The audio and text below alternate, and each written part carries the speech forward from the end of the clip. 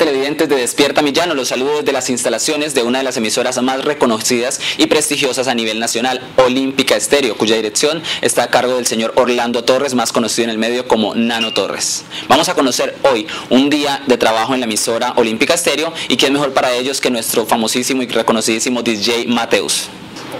Para quienes no habían tenido la oportunidad de conocerlo, se los presento, amigos televidentes de Despierta Millano. Él es Mateus, el reconocidísimo DJ de Olímpica Stereo. Buenas tardes, Mateus. Aquí estamos con Olímpica. Hola, ¿cómo están? Me agarraron trabajando. ¿Cómo va todo? Muy bien, gracias. Eh, queremos hacer como un sondeo de cómo es un día de trabajo aquí en la emisora, que nos comentes algo, por ejemplo, para empezar sobre la historia, por ejemplo, Olímpica Stereo. ¿Cuántos años lleva aquí en Villavicencio? Bueno, Olímpica es una emisora que lleva ya 14, 13, 14 años ya, los cumplimos en diciembre, nuestro aniversario siempre lo celebramos con algún concierto para los oyentes de Olímpica, un concierto gratuito que siempre hacemos a fin de año. Y por mi parte llevo acá ocho años trabajando desde 2004. Mm, soy de Pereira, vivo en Villavicencio donde terminé pues mi carrera universitaria como comunicador social y me desempeño manejando todos estos equipos. Como pueden ver, el área de, la música, la publicidad, la consola, una consola muy moderna, sistema de internet, sabemos una emisora muy a la vanguardia de la tecnología y toda la parte que hace el estudio que es los micrófonos y donde originamos pues los programas que ven allá. Temprano más bacano, ranchenatos, las 20 latinas, vallenatos de oro. Aparte de eso tenemos la fiesta olímpica los fines de semana, tenemos bailoteca también el fin de semana, que no están ahí, pero que hacen parte de la parrilla mm, de programación de la emisora. Así es, Mateus. En orden cronológico, de lunes a viernes, por ejemplo, ¿cuál es el, cuál, ¿en qué orden va cada uno de los programas y quién los presenta? Claro, eh, la madrugada empieza con ranchenatos diarios, con Harold DJ, que es un muchacho que está en las noches, eh, el que trasnocha acá, pues. Eh, nos levantamos con temprano más bacano, los, de 5 a 10 de la mañana. A las 10 de la mañana sigue Andrés Palencia, que es otro de los locutores, por ahí va a estar paneadito. Mm, después de las 12, después de las 10 llega a las 12, sigue Andrés Palencia con Vallenatos de Oro, el programa que tiene ahí. Y en la tarde estoy yo, como pueden ver hasta ahora, a las 4 de la tarde sigo hasta las 5, a las 5 viene el regreso a casa con música y humor de un personaje de Olímpica que se llama Don Ebrio y después de las 6 sigue música olímpica, a las 10 de la noche un programa destinado a la gente que le gusta la salsa comercial que se llama Salsa con Amor. Ahí ustedes tienen pues de dónde escoger si se quieren quedar con Olímpica. Mateos, coméntenos algo acerca del personal que trabaja acá. ¿Tiene usted idea de qué cantidad de personas trabajan en esta emisora?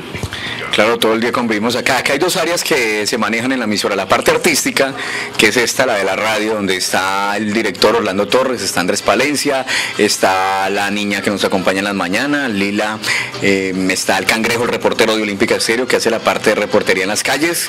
Tenemos a Harold DJ, que es el muchacho de la noche. Hay un supernumerario, que es el que cumple las funciones de, de turnos eh, nocturnos a veces, o cuando no hay disposición de algún locutor oficial, él cumple pues ese, ese turno la parte de ventas, la parte de gerencia, que ya se manejan, pues la parte comercial, lo que es las ventas, lo que oyen en publicidad en Stereo, esa se la, manejan ellos. Y nosotros manejamos pues la parte de dinámica, de concursos, de música, del tanto de los éxitos musicales tropicales, crossover que están sonando en, en, el mundo, en Colombia, y la alegría de la radio, que la difundimos a través de Olímpica Stereo todos los días, desde la mañana hasta que se acaba el día. 24 horas de alegría olímpica. Bien, ¿y qué cantidad o qué reconocimientos ha recibido Olímpica los que las ha llevado, la ha llevado a convertirse como la emisora, una de las emisoras más prestigiosas aquí en, en el país?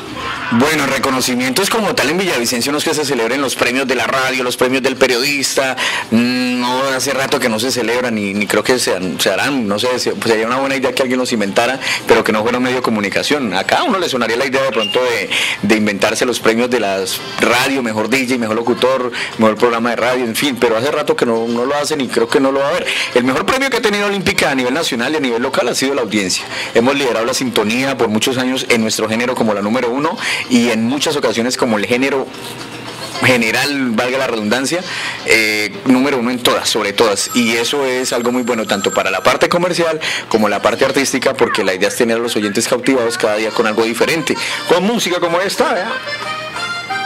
Oiga.